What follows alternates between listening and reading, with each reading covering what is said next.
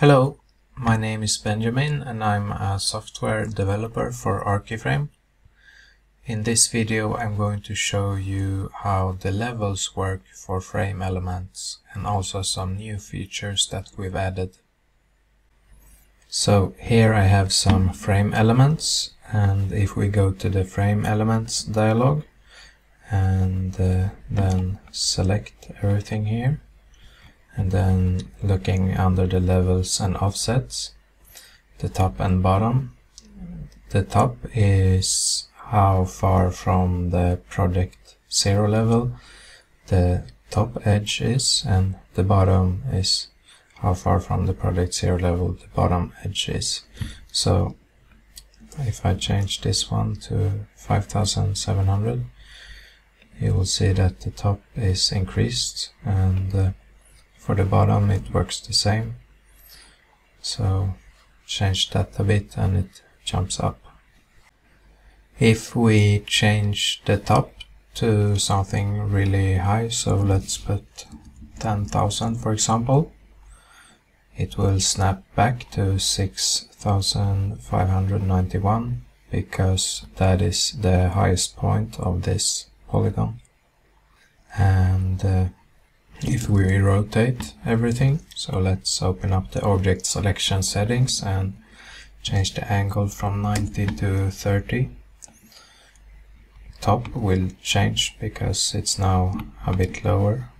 Currently 4945 from the project zero level. And uh, you can change this uh, level relative to to, for example, the active floor or any of the reference levels if you want.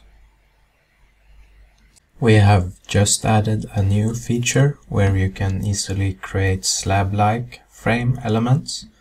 So under operations and place new element with line, there is a new option place new horizontal item. So if I click that one, I can draw a rotated rectangle and uh, a frame element is created here. Let's uh, just go to the 3D. Here there is an anchor. Currently it's set to boarding int.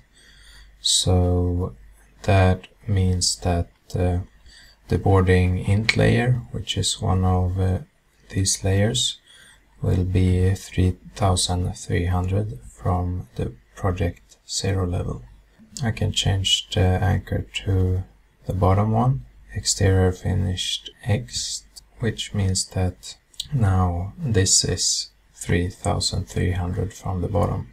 And uh, here the top and bottom means the same thing, so it's how far from the project zero level the anchor is. So we can change the top to something and uh, the bottom will update as well.